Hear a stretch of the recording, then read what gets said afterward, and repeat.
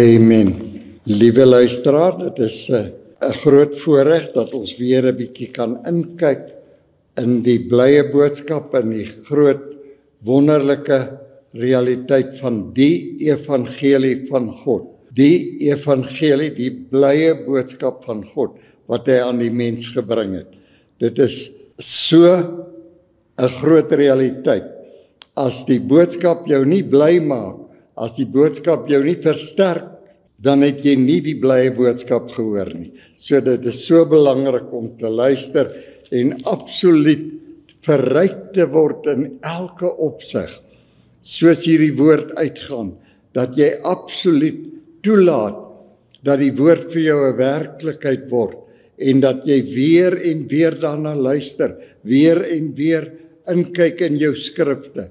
Uh ons kyk 'n bietjie na Kolossense 2 en ons laat toe dat die skrifte vir ons 'n werklikheid word.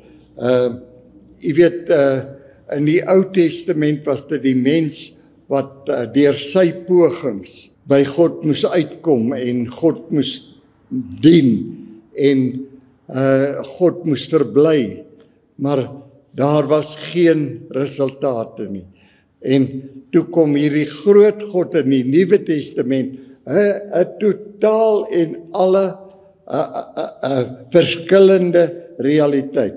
As jy dink dat 'n testament word net geldig as die testateur sterwe en hierdie groot God kom in Christus Jesus en hy sterf aan die kruis om vir ons die werklikheid van die evangelie te bring die evangelie van God die blye boodskap wat God aan die mens bring.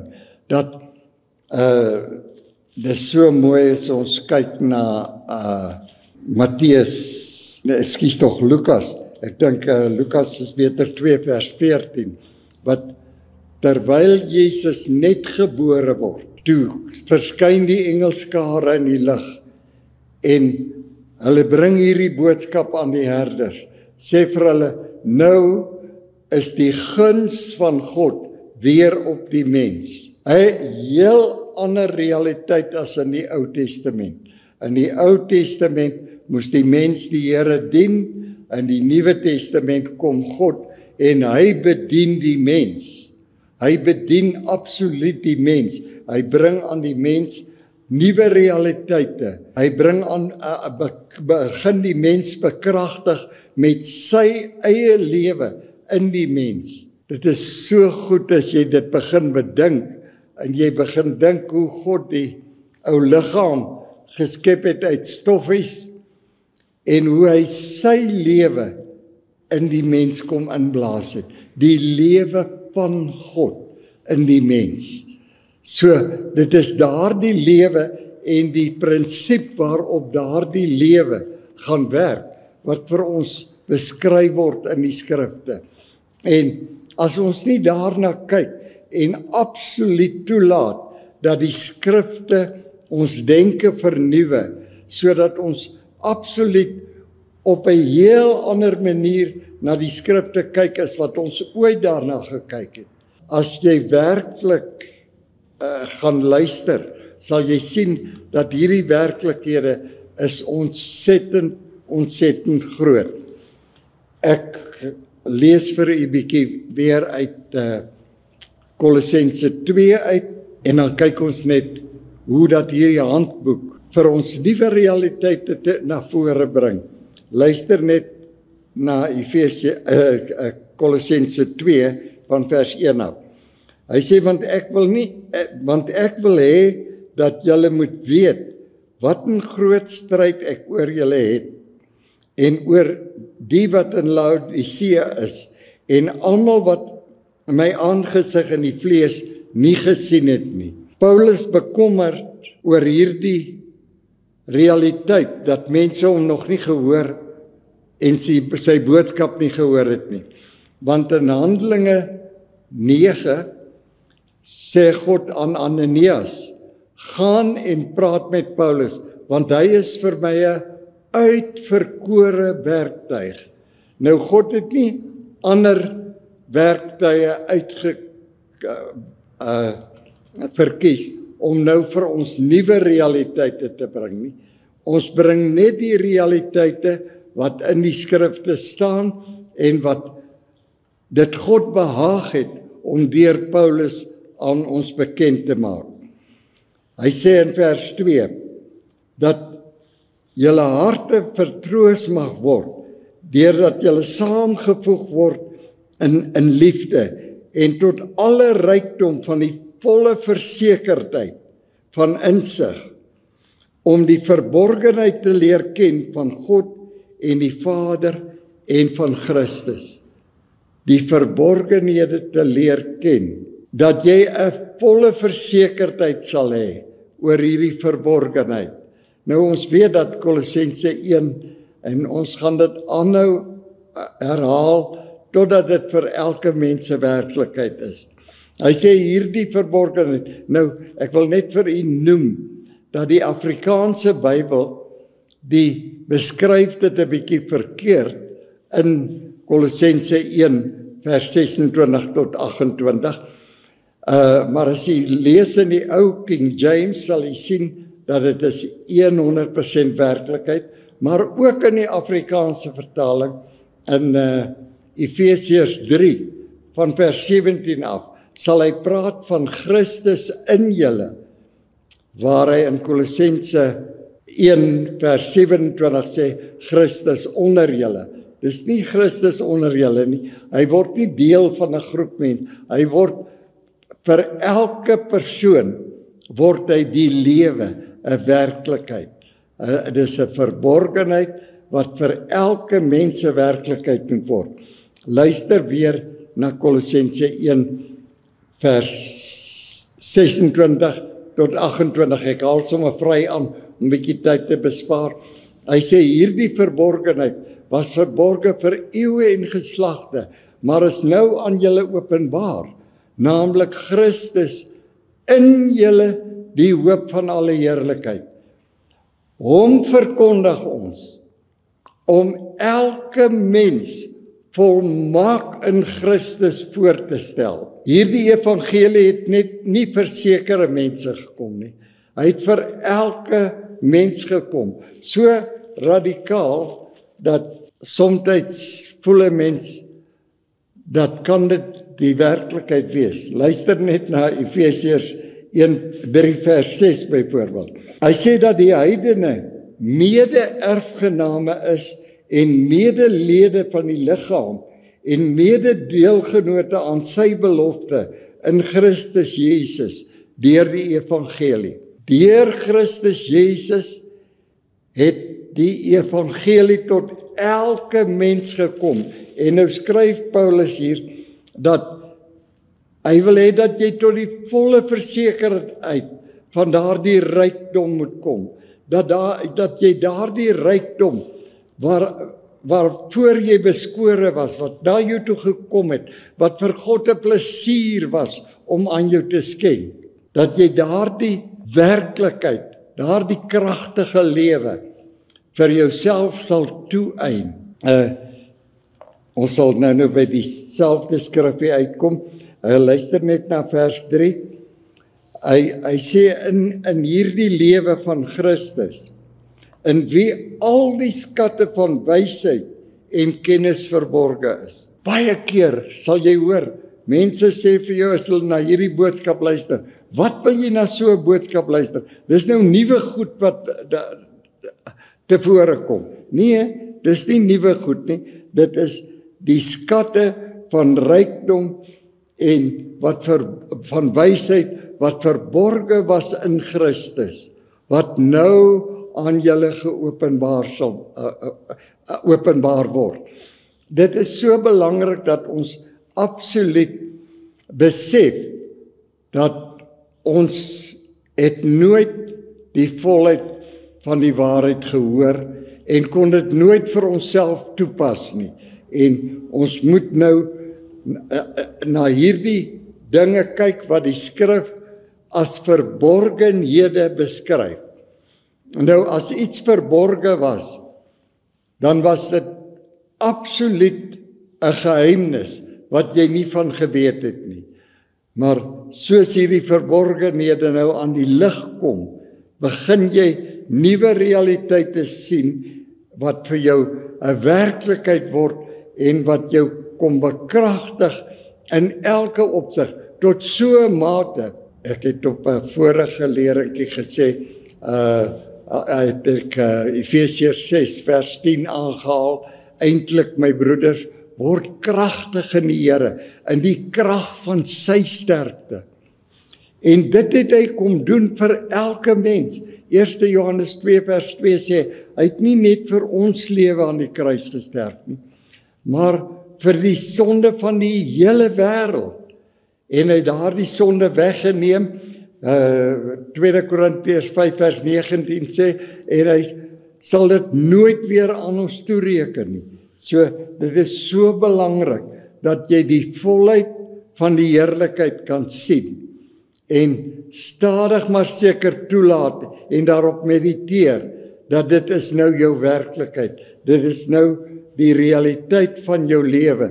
Dit is die lewe wat jy nou moet toelaat om ryklik in jou te woon deur die geloof. Ek dink ek wil net uh Efesiërs 3 so van vers uh, 16 af lees.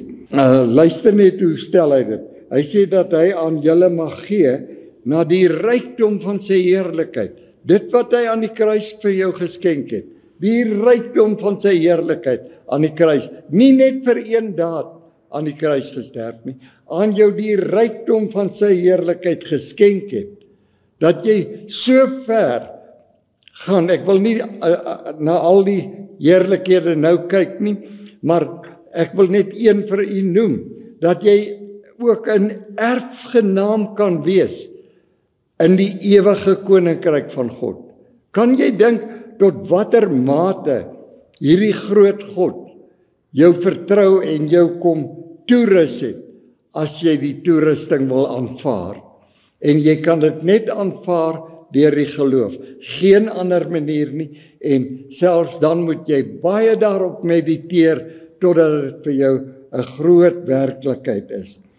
Hy sê om met krag versterk te word deur sy gees in jou innerlike mens.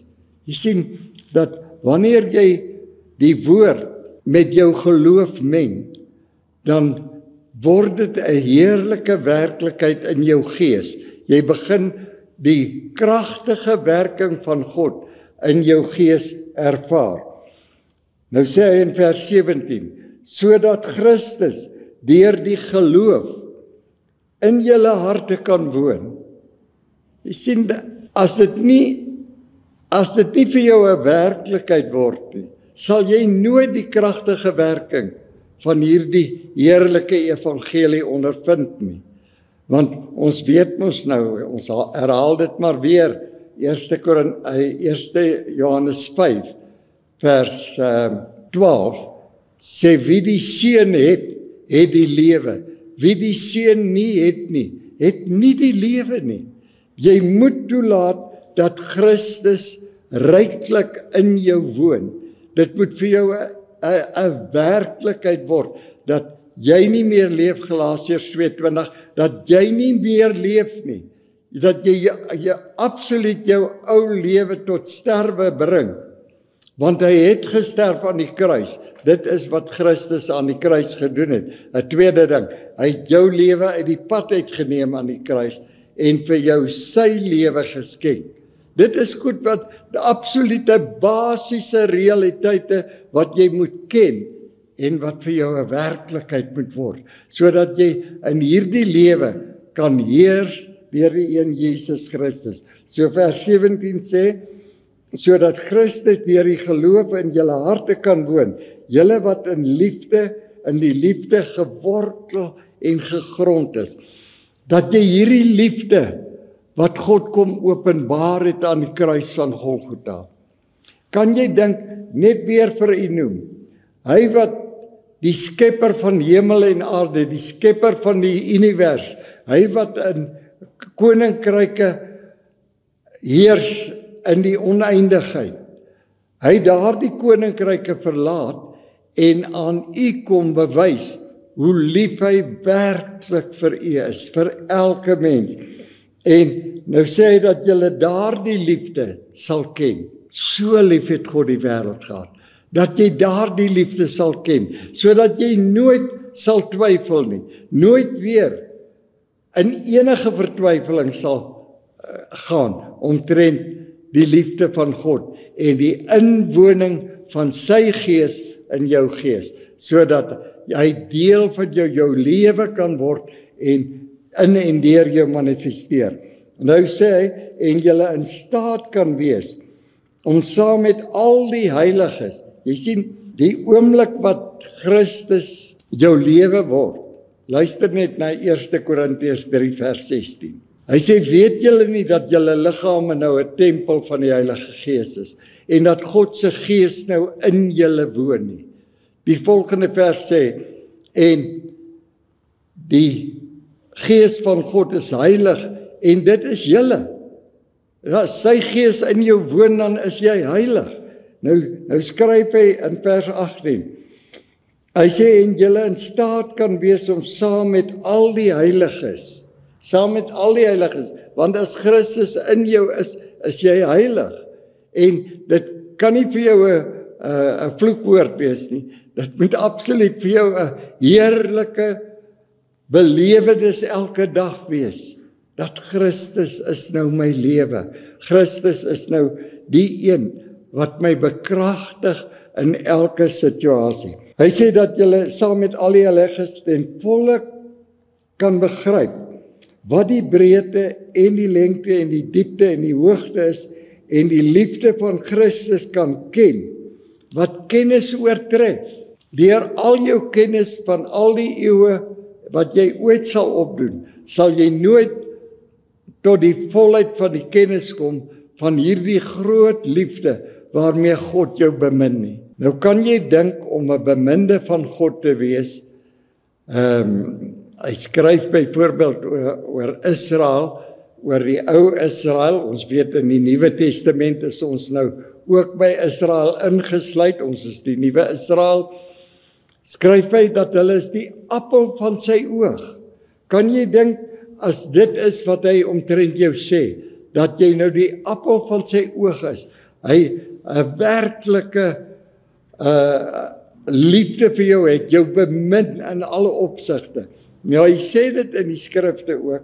Miskien kan ons nou net daarna kyk sodat jy vervul kan word tot al die volheid van God. Kan jy dink dat dit is die begeerte van God dat jy so eh, eh, op hierdie liefde sal inkyk en dit so sal ondervind dat jy sal vervul word tot al die volheid van God. Mense, dit is so wonderlik dat as ons nie daarop mediteer nie kan jy dink wat 'n groot verlies sal dit vir ons wees as ons nooit daardie heerlikheid ondervind nie dit is so belangrik dat ons absoluut na hierdie realiteit te kyk en dit sal beskou die blye boodskap sal beskou as die grootste waarde wat ooit na die aarde gekom het.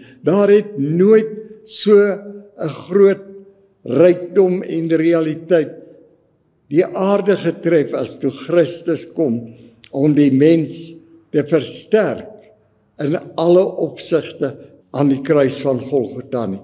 Jou alles geskenk wat tot die lewe en godsaligheid lei. En as hy praat van die lewe en godsaligheid, dan is dit nie net die lewe hier op aarde nie. Dis die lewe waarin jy gaan wees vir tyd en ewigheid, dat jy in daardie ewigheid versterk sal wees met hierdie groot liefde wat vir jou gekom het. Dat jy absoluut in hom in elke opsig verryk is.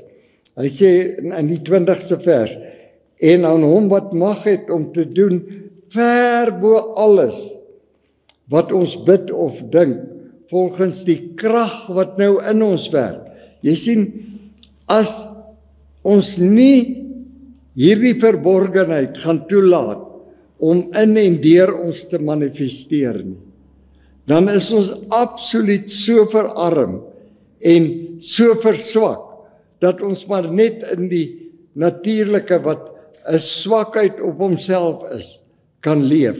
Maar jy kan versterk word in die innerlike mens deur die volheid van die godheid om in jou te woon en dat jou hele vertroue dag vir dag net op hierdie groot God sal wees. Dat jy elke konfrontasie sal te gemoed gaan met die groot krag en heerlikheid wat nou in jou woon.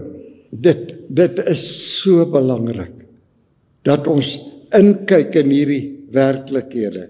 Uh Efesiërs 4 sê dat ons almal tot dieselfde kennis moet kom daardie verdeelde liggaam wat nou in honderde denominasies verdeel is, dat dit 'n een eenheid sal word. Christus se liggaam. Elke een van ons se lid van dieselfde liggaam en Christus die hoof van die liggaam. Hy sê in Efesiërs 4 byvoorbeeld in vers 5. Hy sê daar is net een Here, een geloof, een doop. In hom gedoop, in hom gedoop. Een God en Vader van almal wat oor almal en deur almal en in julle almal is. Efesiërs 4 vers 6. 'n Heerlikheid wat nou in elke mens behoort te wees, maar dit kan net in jou wees deur die geloof, deur absoluut te mediteer op hierdie heerlikhede wat vir jou gekom het. Uh dit is alles net wat gekom het deur die liefde van hierdie groot God. Uh, luister net na 2 Tessalonisense uh 2 vers 13 en 14. Hy sê ons moet God al die tyd oor julle dank broeders wat deur die Here bemin word. Julle wat deur die Here bemin word. Kan jy verstaan dat jy 'n beminde van die Here is en dat al die werklikhede waaroor ons praat altyd aan jou geskenk is omdat hy jou bemin wat jy uitverkies het van die begin af tot saligheid en heiligmaking van die gees en geloof in die waarheid waartoe hy julle geroep het deur ons evangelie om die heerlikheid van ons Here Jesus Christus te verkry.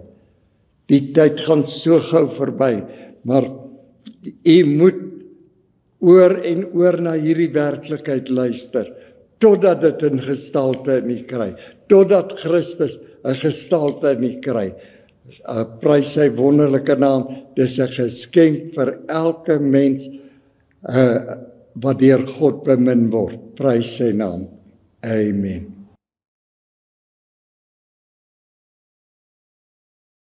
Oh, I'm found.